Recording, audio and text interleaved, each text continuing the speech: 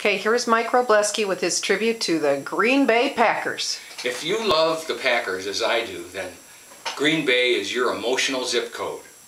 Oh, I'm from Green Bay. I said from Green Bay, that bustling little town, right in the middle of the USA, between the New York Harbor and the San Francisco Bay, where the wonderful East meets the beautiful West. It's the place that I love best sing out for it, cause I'm so proud of it.